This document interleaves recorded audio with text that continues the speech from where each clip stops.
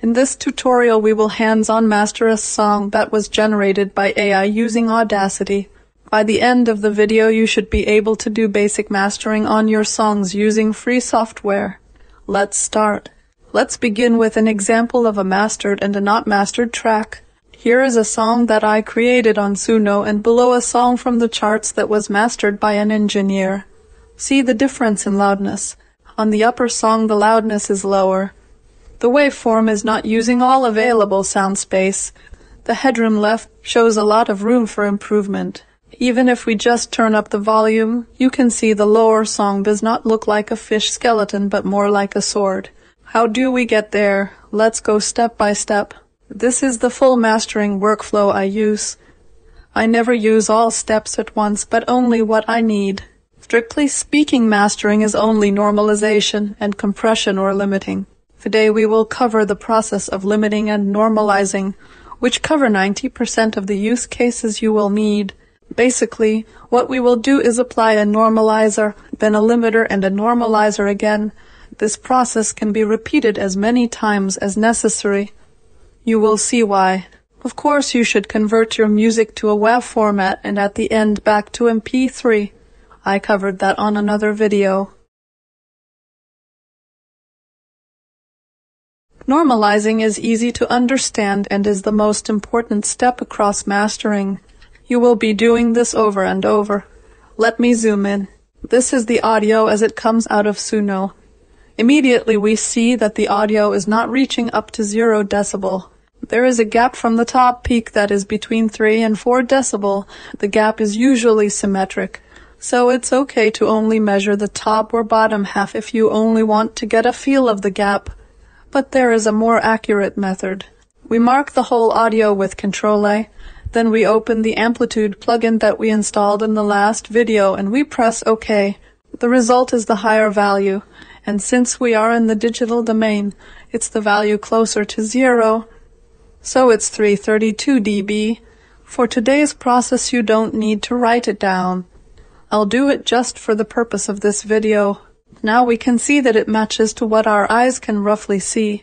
This value means that we can safely amplify the audio by 332 dB and it won't go over 0 dB. We could do this, but there is an easier way. Let me introduce you to our friend the normalizer. Mark all the audio using Control A and select Effect Volume and Compression and then Normalize. A normalizer will automatically get the top peak level and amplify your audio so that the top peak reaches a desired value. Normalizer have sometimes extra features, but you only need one main parameter, the target loudness. This is the only you really care about. It says to what value you want to amplify. For reasons, please do not normalize to zero. For the moment, trust me on this or Google for the keyword true peak. Anyways, for now, just remember to always normalize to a value below zero. I personally like minus 0.6, but some people advise to normalize to minus 1. It depends on your music and with experience you will get a feeling for it. Let's press OK. The waveform now is bigger and using more of the sound space. In summary, the normalizer will amplify your audio up to a level that you define. We will use this feature quite often, as you will see. Still you can see it's not fully reaching the level we saw at the beginning. Let's see why. We normalize the song, but it's not yet optimally using the sound space. The problem is that numerous single peaks prevent us from making it louder. In order to have a good sounding audio, the normalizer amplifies the whole audio keeping its loudness proportions. The trick for more loudness is the fact that the single peaks are so small in the time scale that a single peak will not be actually audible. It is perfectly fine to cut or reduce a peak. Still, we cannot just go peak by peak, too much work. Instead, we will define a loudness limit and reduce everything that is louder than this limit. Audio that is below the limit will not be touched. You can compare it to grass mowing. Only the protruding grasses are cut. But how do we know what is the threshold to cut? Well, there is a couple of ways. First, we will just go visually.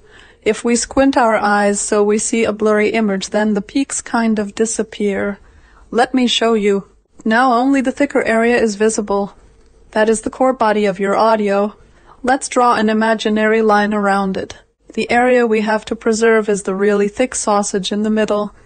We can cut a bit into that, but cutting too much would cause the audio to sound distorted.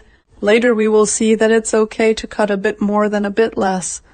So for the moment it's okay to set a rough value. Now we just have to remember the level of the highest part of the sausage. That will be our cutting limit. I estimated it to be 3 5 dB. It's not critical to ultra exact with this number. Audio is patient and has some leeway.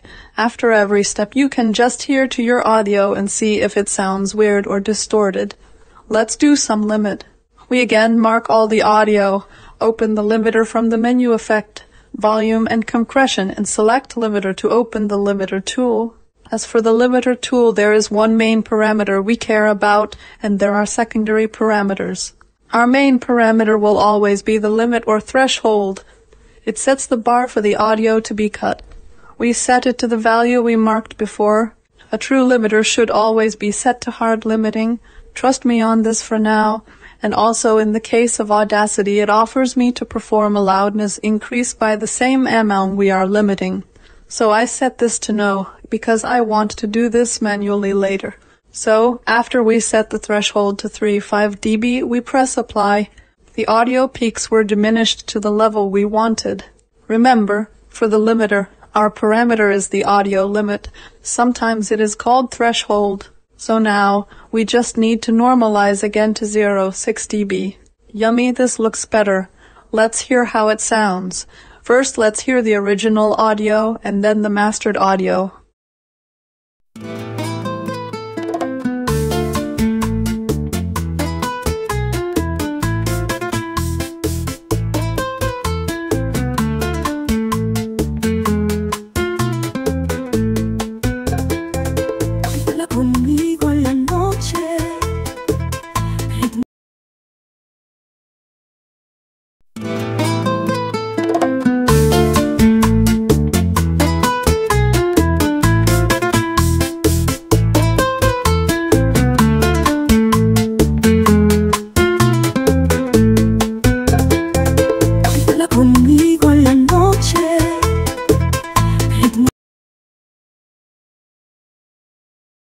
That sounds louder and all instruments come more to life. Up to here, it's quite safe and you can stop. If you want, however, you can repeat the cycle of limiting and normalizing. That's where it starts to get tricky, because if you push it too much, your audio gets distorted. It's not easy to recognize distortion well without a good equipment, but you don't need to worry too much about it since audio peaks can be cutted a lot before it starts sounding bad. Let's see how it would sound if I didn't limit to minus 3.5 but to minus 10 dB, a big scary number. So, we quickly mark the audio to got limiter and set the limit to minus 10, then normalize it back to minus 0.6 and press apply.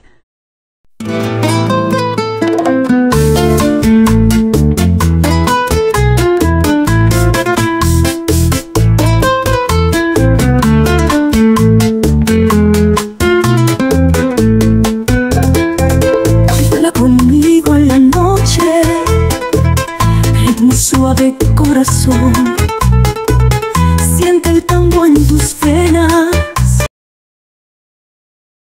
If you have normal to low quality speakers, you probably did or did not hear a difference.